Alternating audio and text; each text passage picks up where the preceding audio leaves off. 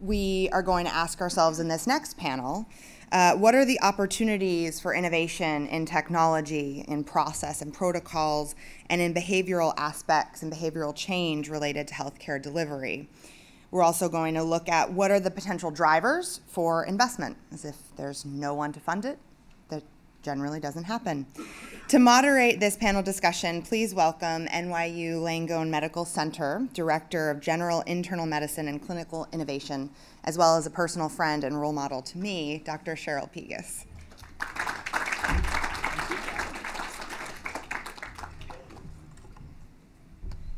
Good morning, everyone. Thank you for being here. I was thinking that we all walked up here. We got our exercise in this morning. It's a healthy options uh, that are outside that we're eating, and so we're modeling the behaviors that we'd like to see. I know people are coming in. Please feel free to come in and have a seat as we go through uh, the event.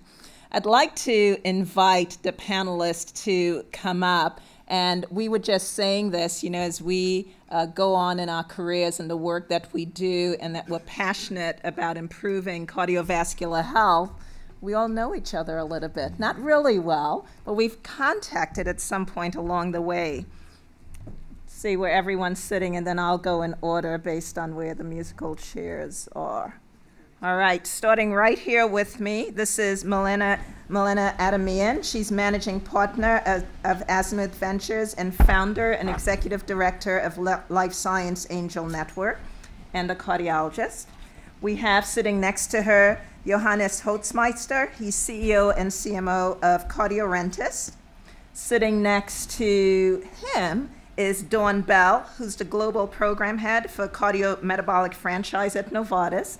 And sitting at the end is the CEO of Health Reveal, which doesn't say a lot about um, Dr. Reisman, who's the former chief medical officer also of Aetna and previously founded Active Health, which was acquired by Aetna um, during my time there. And I've actually had an opportunity to work with many of these people. I'm going to tee this up in talking about heart failure of really why is heart failure back in the news again? Uh, because it comes and it goes and then it's back. And it, we do this with a number of diseases, right? We know they're high cost, we know there's a lot of work to be done, but why does it come, come up at different times and why do we see investment opportunities? There are a lot of people with heart failure, many new cases, 550,000 being diagnosed every year. And it affects everyone yes, the demographics weigh heavily towards an older population because you've had chronic heart disease, hypertension along the way, diabetes, maybe having a heart attack. And because of treatments and technologies, you're living longer. And now, with some damaged heart, you have heart failure. So, definitely, there's a demographic shift to heart failure. It's equal in men and women, but women actually die more from heart failure than men, some work that's being done and it costs a lot because there are many people who are seeing physicians. So, heart failure is in the news again because last year a great new drug was talked about at the Barcelona um, Cardiac Health Forum. Um, the paradigm trial, many of you are aware of. But I want to take us back to do we have a lot of tools already in this toolkit for heart failure? And are we utilizing them appropriately? So, what we know about heart failure already, and we actually know this about many chronic diseases um, uh, that, that impact heart disease, is that there are lots of great treatments. Medications can be used effectively to treat and manage heart failure. We have had in this country in general poor adherence to medical treatments for many conditions. People talk about diabetes, hypertension. Heart failure is one of the great areas that when you heard Jim talking about what are the things we need to improve, not just the new technologies, but how are we ap- approaching health, prevention, wellness, this is an area that a lot of work still needs to continue and an innovative area for work to continue. And so, though we have new treatments, and we'll talk a little bit about them, one of the things that we still have is how do we get people to utilize current existing treatments according to evidence based guidelines. So this is not a, yeah, I wrote the prescription, the patient didn't take it. It's also how do we get physicians to also manage patients appropriately for these diseases. This is the drug that came out last year. It doesn't have a name yet. Maybe Dawn will tell us if it has a name, but we'll just call it the cute, sexy name LCZ 696. Great marketing. Um, that's what it goes by. And it's a combination of actually a known treatment for heart failure. Angiotensin uh, inhibitors have been known for a while to treat heart failure. There are a number of patients who cannot tolerate them, and we have what we call ARBs, which are angiotensin renin blockers, still working with that. So what they've done is they've taken part of a drug that we know works, and they've added on another drug to that to help impact heart failure. And obviously, they've had great results. I want to get um, primarily to having the panel begin to talk about these. One of the other drugs that you'll hear about today is ularitide, and that's an IV drug utilized for treating acute heart failure. This is a new oral drug. We'll talk about a new IV drug. So, still lots of innovation going on in heart failure. My first question is for Dawn. So, new drug came out, lots of excitement. I'm sure Novartis was thrilled. Did we need a new drug? Uh, that's, a, that's an excellent question, and I fully agree with uh, your comments earlier that we don't do a good job of uh, deploying the tools we already have, and that's certainly an area of improvement. Um, but even with the best treatment available, which certainly in the paradigm trial, we were able to control that to make sure our patients were on optimal therapy, we still see a mortality rate of 7.5% a year in patients on the control group and a hospitalization rate similar uh, to that. So clearly there's unmet needs in heart failure, uh, but I fully agree that uh, we could be doing a lot better to manage patients. What we've seen in our data is that less than half of patients are managed on appropriate evidence-based therapies that, are currently available and that are generic. So uh, we, we have a lot of room to do in the delivery of, uh, of these And definitely if they're generic, lower cost. Absolutely. Have you guys looked at, and maybe Lonny, this is a question for you, have you guys looked at why is this? Why aren't we using these appropriately? Why aren't people getting the treatments? Is it truly cost still an issue within um, this model? Well, I, I, can tell you categorically that I don't think it's all about cost from the patient perspective. Uh, because we actually uh, did a trial at Aetna where we uh, waived copays entirely for drugs associated with heart failure, myocardial infarction. Uh, it was published in the New England Journal of Medicine. What was fascinating is as you'd expect, we saw an increment in compliance, and that increment in compliance actually translated to better outcomes, fewer hospitalizations and reinfarction, and we actually saved money on the process. What was really extraordinary was that despite giving those drugs for free for people who had had an event, we never broke 50%. The increment in compliance that we saw was 43% to 49%. So you've had an event, there's nothing theoretical, this isn't a wellness initiative 20 years out. This is you've had the event, you're being told you'll have another, and for free, we couldn't break 50%. The other issue, which I think is important, is the notion, which you touched on very briefly, but maybe with not as much emphasis as I place on it, is the role of the physician in all this.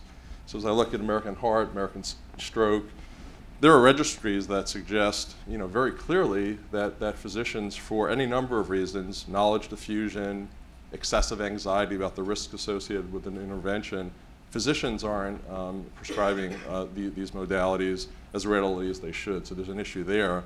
And the third thing I'll, I'll, I'll, just make a comment about is the role of health information technology in all of this. We all talk about electronic health records, we talk about efficiencies, we talk about redundancy. What about efficacy?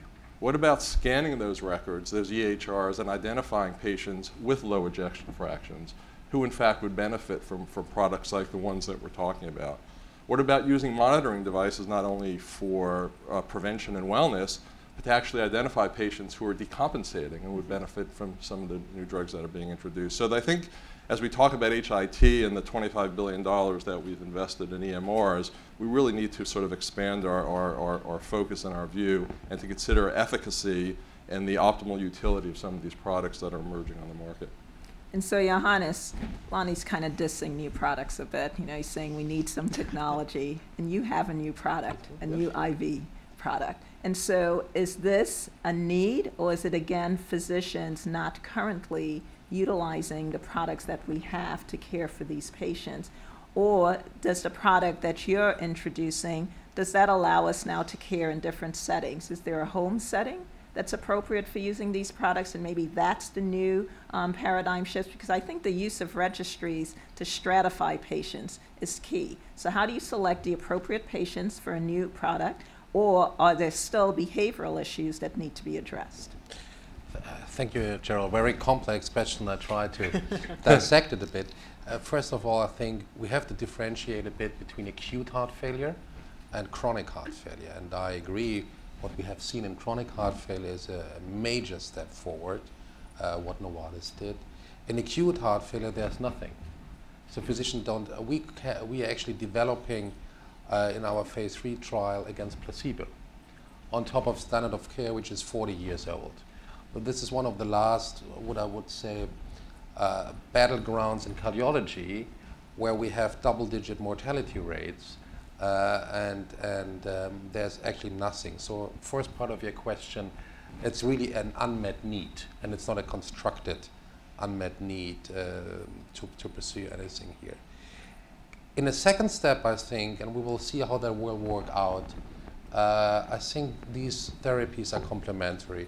How I understand LCZ uh, is working it's a mechanism leveraging on a natriuretic peptide system which is endogenous in our body. We don't know all the details. You probably know more than I. Um, I think we will be thrilled having something for the acute care setting because there's a large unmet need. If we can make then a second step having different formulations or having something attached to a device which would allow us to really look for a certain subpopulation of patients to um, prohibit decompensation, that's something we are looking into it. Thank you. So we've heard chronic treatments. We've got some good ones. Need to figure out how do we get patients and doctors to do them. There's room for something new and nothing in intravenous. And Cardiorentis, the company that uh, was founded by Johannes, is really looking at that in acute heart failure, uh, just moving to, so not the people who are walking around which stages one, two, three, and they're taking medicines, they can get uh, some treatments. In acute heart failure, we actually have some new treatments um, that we're utilizing, and some of them are surgical. And so, Milena, wanted to move to you and talk about some of the new, these new treatments for end stage heart failure, how we're actually even using valvular replacements in some of these populations. Um, in a population, by the way, where a number of years ago they were too high risk to even have surgery and survive, and talk about some of the other bridges we're utilizing to transplant. Uh, well, I would like to thank you. It's it's very important uh, topic, and being probably the only person who has device background on the panel, I was uh, I wanted to cover that part as well. And go back to the title of, the, of, of our session, which is the economics of heart failure. So what we're trying to discuss here, I guess, it's the management of heart failure as a process, both clinically and economically efficient. And how do you make those two kind of goals uh, to meet? So on one hand, we do, so uh, heart failure, as everyone's uh, on the panel alluded, is incredibly complex um, I wouldn't even call it a disease. It's a, it's a, it's a state on itself. It has multifactorial, a lot of factors contributing to it. So um, at some point, it's not just the pill management. It's at some point you, you make a decision to either um, to stop progressing over, over disease. And so that's where the you know valves come to place, transcatheter valve replacements, or even surgical valve replacements come to the place. And the devices like mechanical support devices such as uh, HeartWare and uh, Thoratec device, etc. Those basically are devices that support your, your failing heart and have some, and there have been re recent um, clinical trials announced with fairly um, favorable results. Uh, what also affects all this process is, is also economics of all of that, right? We all know it's all about reimbursement and um, not all about reimbursement, but a lot of that is about reimbursement. And uh, how uh, the specific treatment modality is being paid. So with fairly um, favorable reimbursement rates, reimbursement cha- rate changes if, uh, as of last week, specifically for heart failure patients. You can see there's there's a there's a room to room to play. What are some of the companies in this area that's taking advantage um, of this space that, that you're aware of working with? I, well, if I may kind of depart a little bit from there, I would say that um, it's not just a specific device company, right? I think what we're looking at right now, and we specifically in our, you know, in our fund, we're looking at what Im- improves, back to Jim's point, access and delivery of care. It's not just a single device.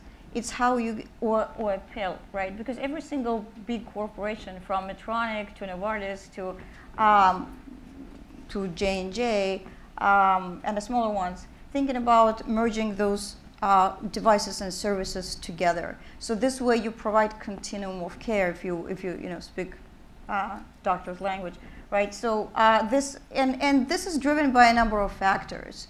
So one factor is obviously, um, you know, if you're thinking about economy, it's improving margins of those companies like Medtronic and St. Jude's of this world. They, they need, they realize it's not just, we're not just selling device, ICDs or, you know, or whatnot, but we also want to maintain contact with our patients. We want to deliver services. This way, we own that patient, right? And then third, uh, and then another important uh, point, which again goes back to economics, it's a value-based care delivery. And that is uh, extremely important, the, the mechanism, the way uh, physicians and, and um, traditional players and, and innovators in the space being paid. Let's focus on the economics a little bit. So, if we believe that the highest cost is when a patient gets hospitalized, a lot of the, these treatments occur outside of the hospital and to your point, Milena, it's not just a device, but it's the care management program that surrounds that. We heard Lonny mention that even uh, when people have the drugs where they don't have a copay essentially for free, that it's not just making sure they have it, so that there are other components. So I have two questions. Um, one for Lonny. What are the other components that are absolutely necessary for managing a chronic disease? What are the things that you'd put into place, and who puts that in place? We've set some of the gaps that we see with physicians. So, who are the other stakeholders who have to step in and make sure that we're building out the right um, components? And some of these are innovators. And then the second for, um, for Dawn and Johannes. So, if care of a chronic disease requires self management, home management, and tools and technologies to support that so we impact cost, as you're building out these products and services, how much of your budget, your capital budget, you're putting towards that? Or how are you looking for partners to do that, understanding that you'll be judged on outcomes, not just on, you know, uh, um, an uh, efficacy of, of the product? Me first? You first. So I think the, uh, the, the, fragmentation in the healthcare system that we all bemoan from a practitioner perspective, I've got a cardiologist, nephrologist, endocrinologist, actually exists at the, the macro institutional level. So if we're thinking about a population with heart failure, and be more specific, systolic dysfunction, or with critical aortic stenosis, speaking of TAVR, wouldn't it make more sense to organize an ecosystem where it isn't just the payer, it isn't just the payer, patient, it isn't just the doctor and delivery system, but it's actually the pharmaceutical company or the device company. And I think what's particularly flawed and what's sort of standing in the way of what is an obvious principle around organization uh, is the reimbursement mechanism. We're all talking about value, but we're really basically paying a lip service talking about, well, a little extra fee for a care manager or a little bit of a bonus for some quality metric if in fact these products really provide value, and they provide enormous value, paradigm of 20% reduction in, in, hospitalizations, there's real money in that. So to the extent that we could all work together to identify the drug, the device, the physician incentive, the patient incentive, to create an ecosystem where we're being rewarded financially for value and not having absurd arguments about unit price, um, which we've all done a little bit of, um, I think we'd be in a better place. So I think we need a, a system of care um, which generally doesn't exist, but I think would address some of the issues that we're struggling with. Yeah, I, I Do ACOs address that? so that's a fascinating point. So the ACOs are at risk as a delivery system. if I'm running an ACO and I've got to use these magnificent capabilities for acute decompensated heart failure, for chronic heart failure, or for critical aortic stenosis, would it be unreasonable for me to approach the device maker, of the pharmaceutical company, and say, look, why don't we all go at risk together, and to the extent through a coordinated uh, series of activities, an appropriate HIT platform, the right incentives for everyone, if we achieve the results that we see in these clinical trials, I think there's a great deal of money to be made, and I think that's the model we should be focused on rather than this unit price volume margin thing that everybody seems to be preoccupied with. Dawn, be careful how you answer all the academic centers in the room who are forming ACOs. About to. We were all going to try to protect them. yes. I, I couldn't agree more that uh, there's a reimbursement system that really is uh, a bit, if I may use the word, perverted. Because what we find is that, just look, think, speaking of the U.S. market, obviously we look at this globally and see very different systems of delivery. But in the U.S. market, 70% of the potential patients are covered by Medicare Part D programs that have no accountability for the medical benefit. They're only accountable for the drug benefit, so they could care less if you prevent heart failure hospitalizations. They're just going to negotiate you an acquisition price. And so it's really difficult to have that conversation about value when the, they don't have that same incentives around value. Uh, I think accountable care organizations are are going to be helpful, and I really look forward to seeing some. Uh, you know, I think there's some good data coming out of that. It's very interesting. I read something just on the way in today uh, that financial incentives, when these pay for performance, can only do so much. That there is some limitations to how that it does incentivize especially prescribers mm-hmm. and, and, and, caregivers. So, so we really do need to think about the entire ecosystem, as you said, and what other levers uh, can we, um, you know, can we pull to get the best care for patients? And I think we also need to think about, um, you know, our compliance um, realities. Uh, in especially in the U.S., there are a lot of things as a pharmaceutical company we cannot do. Uh, the things that you're talking about because of uh, OIG regulations and other things that would prevent us per, from providing, you know, these kinds of um, kickbacks, which is right. what they would call them. So there's a lot of change that we'd have to make to the legislation in order to make that all happen. Johannes, Let's for you, it, yeah. programs and services as well? Yeah, Cheryl, I mean, we, uh, we are a small company, obviously running a big program, but we, um, from the beginning, analyzed the different stakeholders. Uh, and one stakeholder is the patient, of course, and the physician, the other stakeholder are the different uh, reimbursement systems. And we kind of saw an opportunity to move away for approvability in acute heart failure only from symptoms to more health economic understanding as well. This was particularly important for our uh, investors um, to demonstrate a value to the different stakeholders and to be a very proactive. Mortality only doesn't bring something to this table. You need to save rehospitalizations. You need to save length of ICU stay. You need to save healthcare utilization costs which is translated into worsening heart failure, which is a concept I think Novartis shares now too, uh, leading also a, a, space here in acute heart failure.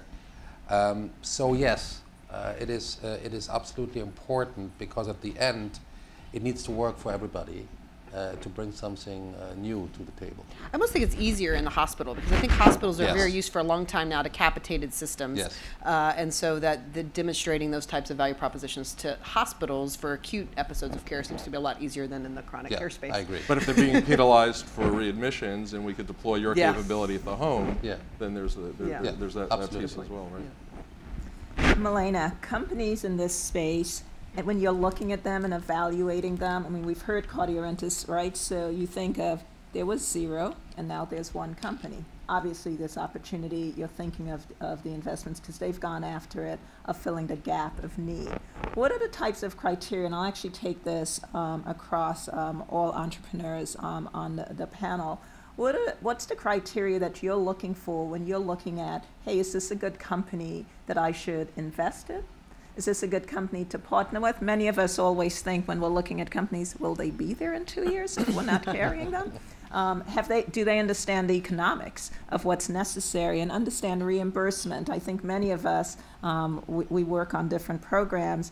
When we sit with a company, if they don't have a reimbursement model, or understand what's necessary, it's a bit of a flag um, in conversations, particularly in the in the U.S. market.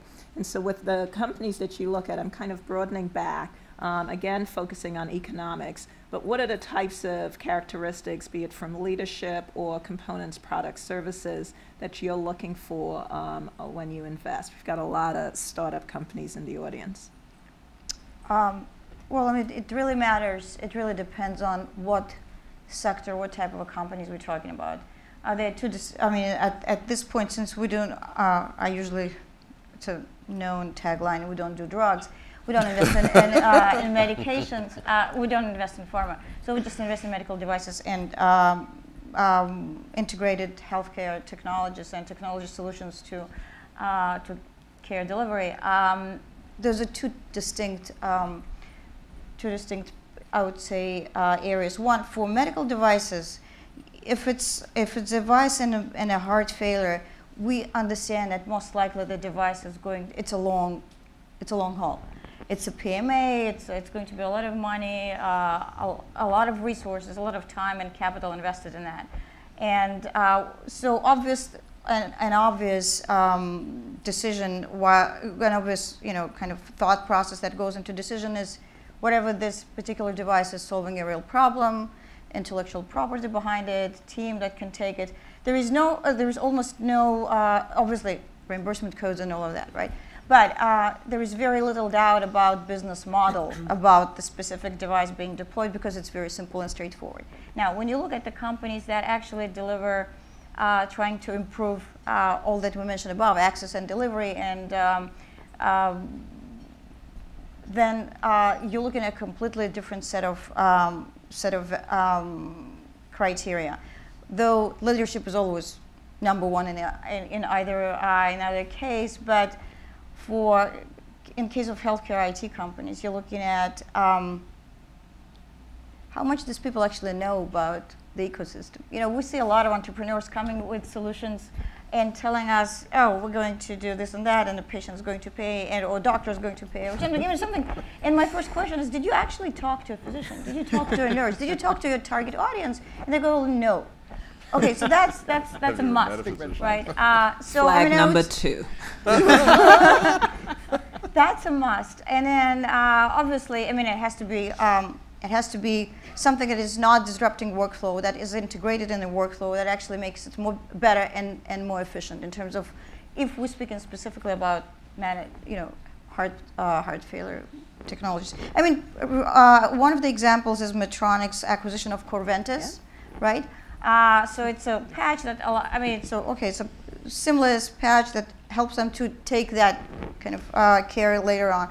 Uh, we, we can more or less put in that category. I wouldn't call CardioMEMS really a health IT yeah. company. CardioMEMS has been around for ages, and uh, it was investment of, of the fund that I was before as a medical device. But there's also Covidien that bought Zephyr Technologies, right? If you look at it, this is a wellness product, and uh, you know, there's an expansion clearly. So we're evaluating all, all kind of all spectrum of that. And it's also that reimbursement today is based on outcomes. And if we see that the gap in outcomes is getting people to adhere, do self-management, these acquisitions make a great deal of sense as these companies look to how the new reimbursement models work in an accountable care world. Lonny, same, same question to you as we look at, you know, how are you looking at new companies partnering? How in the space of impacting cost what are the criteria that, that you're looking at? I, I think the, uh, the first issue is to be certain that uh, the company is addressing a, a real and tangible problem uh, which can be articulated um, and, and then impacted. And my orientation is much more around a collection of capabilities that will address these very, very complex problems rather than a one-off sort of solution. So. Mm if it's of a device that measures pulmonary artery pressures or diastolic pressures as a proxy for fluid retention, where's the context? So if you just simply send an alert to the doctor, the doctor's going to say, I have to go to the emergency room, which is certainly not cost effective. Or, not infrequently, ignore the, the, the data itself. If you look at pacemaker data, and speaking of stroke and, and, and the numbers of people with atrial fibrillation, whereas an incidental issue, um, there's a tremendous opportunity that's completely ignored. So again, incentives have to be aligned. I think there needs to be collaborations between payers, physicians, uh, consumers, drug and device companies in order to work toward an outcome which will then be rewarded by virtue of the creation of an intelligent reimbursement value-based system. I think just uh, having been in the startup world myself, uh, what I think investors are really looking for is a good team too. I mean, everything else everybody else has said is uh, absolutely appropriate, but a team, preferably that's done it before. It's really easy to get your second investment than it is to get your first investment. Sorry, startup entrepreneurs. Uh, that's the nature of the game.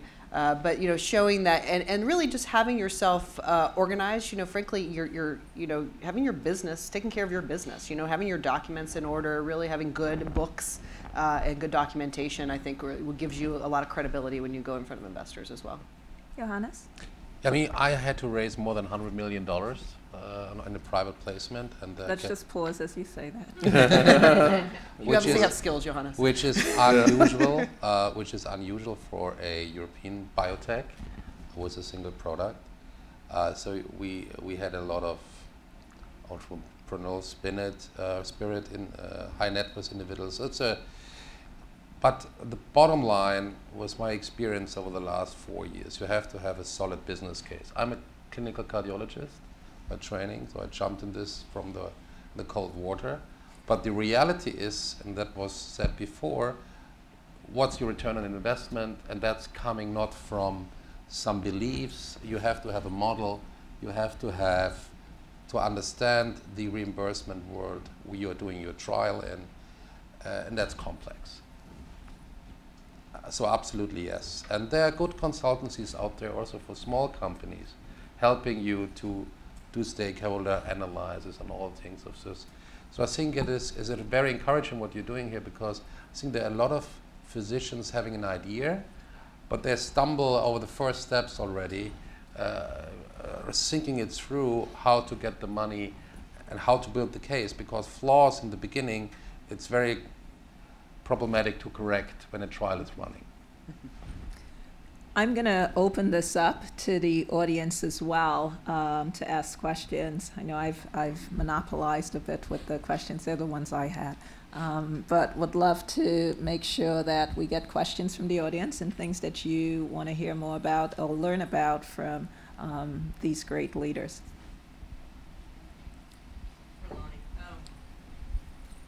Can you introduce yourself as Sure. you speak, Lisa?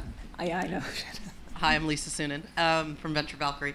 Um, you know, Lonny, my experience is that payers largely want to see a return on investment from the investment they're making, whether it's a device or a drug or whatever, within 12 months or less. And a lot of times, the downstream effect in, in savings is more than 12 months out. How do you bridge that problem? For me, I would uh, identify opportunities where the return, in fact, is manifest within a year. So if you look at the Paradigm trial and you look at the splay of, of the curves, there's an impact that, that emerges very, very early on within several months. So I would argue that a lot of the, the emphasis um, with regard to return on investment relate to wellness programs and compliance programs for people with maybe low risk diseases. All laudable efforts and goals, but completely unrealistic from an economic perspective, given anybody's investment horizon. On the other hand, I would argue that it's conceivable to identify high risk cohorts of patients who are destined to have a catastrophic event. And I would argue that there are physiologic antecedents that in fact predict a deflection, an inflection point where that event is about to occur.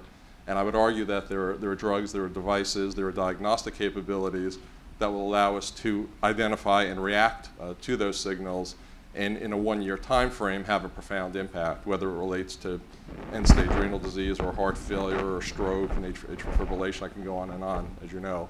Um, but I think there are a lot of um, magnificent opportunities that are being overlooked because we're focused either on wellness or catastrophic outcomes. And I would argue just before the catastrophic outcome, there's an opportunity to intervene which is being missed. And that's where a lot of these products, I think, will have a, uh, a huge impact. Other questions? Going to get a microphone right behind you. Thank you.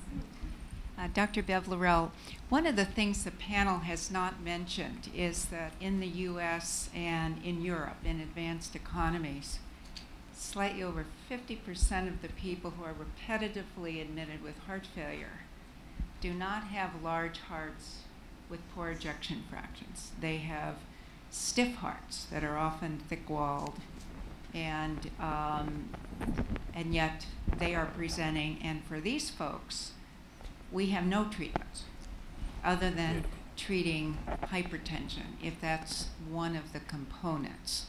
So it's not like we can design a system to encourage compliance or an accountable care organization to enhance that. What do you see as the innovation in this realm and also sort of the more complex economics about this since there's been so many efforts, investments, innovations that have failed disastrously?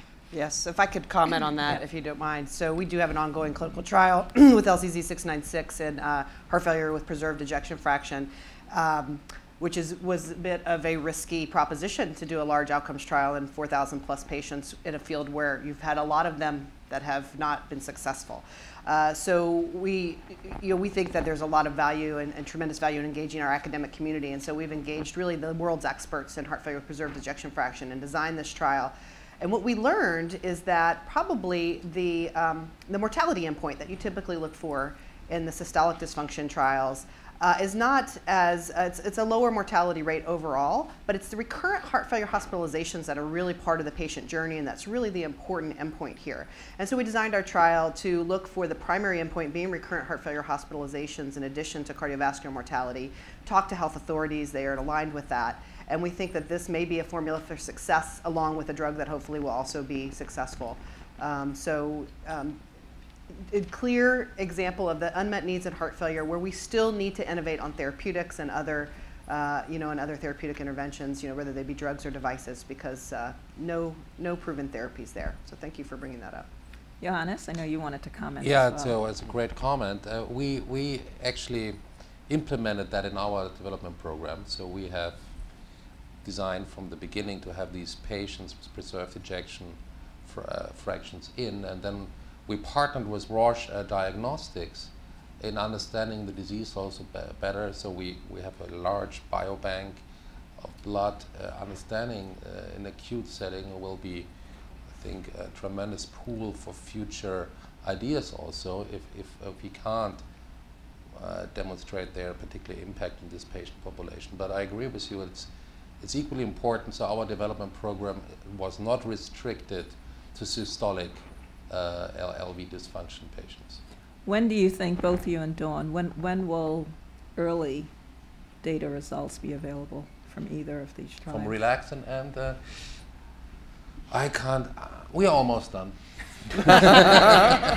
We're just starting. no, no, no, no. we are for the LCZ Two to program five just years. starting. Yes. Other questions uh, in the audience?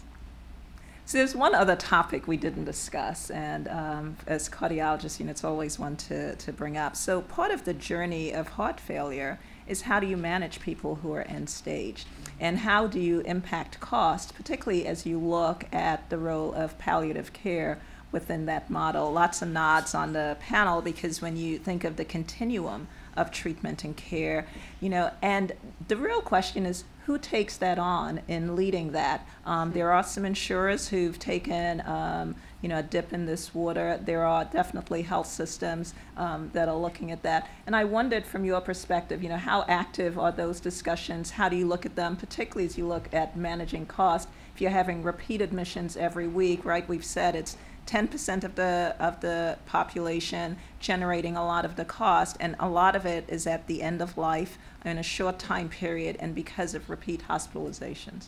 Yeah. Should I go start down coming this way? Lonny, rock and roll? So we, uh, um, I, have been uh, out of Aetna for about a year now, but we were very proud and continue to be proud of a program where we did two things to change the, the hospice benefit, whether it's uh, at home or um, uh, um, uh, at a facility. Um, one was to extend, expand uh, the anticipated survival for the, for the patient from six months to a year. So we didn't have to grapple with this notion about the imminence of, of, of the patient's demise. Mm. The, the, the other component, which was more important, is that a lot of patients are reluctant to access these compassionate care programs because they think they need to waive their prerogative to access new and innovative mm. therapeutic interventions. We got rid of that too.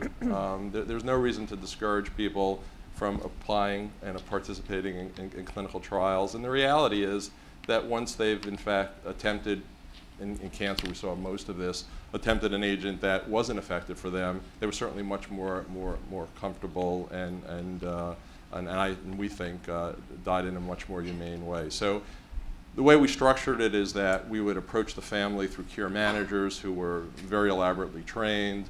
They were compassionate, they were effective, the, the uh, patients uh, appreciated it. And one of the things I think we didn't emphasize enough, and I guess I can since I'm out you know, for about a year, is that not only was this a magnificent program for patients, but it saved a lot of money.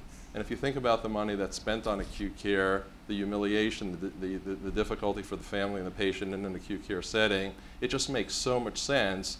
And I argued then, and I suppose I can speak privately now, about the, the financial benefit of actually doing the right thing for, for patients and their families. Um, I, I, think that as uh, speaking just from the U.S. perspective, as Americans in the American healthcare system, we're extraordinarily bad at letting people die with dignity. Uh, we will, it may be because I spent my whole career in cardiology and a lot of in interventional cardiology, and so this idea that we can save you, right? We can do it. And so I do think that leads, uh, you know, as a culture in our healthcare system, that we need to get very comfortable with the fact that there comes a point in the journey of the heart failure patient where there really is not much more that you can do other than allowing them to die uh, gracefully and with dignity and comfortably. You know.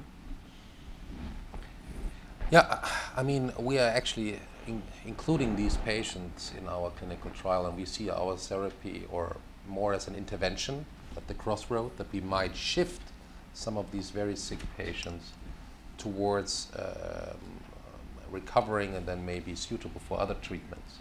And we will see how that works. Yeah. Yep. Results again in two years. No, no, no. Quicker than that. he said he's ready. it sounds like we're having a conference next week. All right. No, no, but it's Milena. soon, well, soon. Yeah. I would say we're dealing, I mean, uh, end, end stage heart failure is a really, uh, is a really, it's not even complex, it's, it's an end stage heart failure, right? And so you're dealing with an extremely sick population. And what also is helpful to break down that population to, uh, to look at the socioeconomic class uh, and age, kind of age groups related to that, right? And cater to those to those groups, whatever needs to be, needs to happen in terms of delivery of the services, as you said, right? You know, to provide, uh, you know, kind of, you know, that end, end of stage, end of life uh, care with dignity. So that's what needs to happen. Also, when we, we keep talking about repeat hospitalizations for this specific uh, patient group, there will be high, always go, going to be, uh, there's always going to be a high rate of uh, repeat hospitalizations for this patient. What needs to happen, uh, I think we should focus on acute care in a hospital, on better uh, care delivery in the hospital, while because it's it's almost inevitable. These patients will come back. It's never going to be a single digit i mean unless we completely redefine how these patients are being cared one of the things though and combining with that is a number of institutions have now put in place home management programs where you actually receive right. IV treatments, you actually get follow-up care, and there have actually been a number of studies. Um, Walgreens published some uh, a couple of years ago there is actually a gap, you know, when we think about innovative companies, opportunities, you know, finding that for IV treatment for acute heart failure, there's no comparative. I would tell you, um, Aetna does have a program that's based much more from who their members are and how they're treating. When you think of entrepreneurial opportunities of what's needed, this is a really big area that there's very, very little noise in about what needs to occur. And it's not just for um, people with heart failure, it's multiple other diseases. The services, that support system for providing care um, remains an, an, area that, that is actually pretty fertile. Maybe it's something the panel we can discuss later, and we'll be back to you with a proposal. Are there any other questions um, from the audience? The panel will be here um, a bit more if you do have questions as well, but I wanted to make sure um, if there are any. I'd like to thank our panelists, Lonny Reisman, Dawn Bell. We have the wonderful Johannes Holzmeister and his company, and of course, Milena Adamian. Thank you, everyone. Thank you.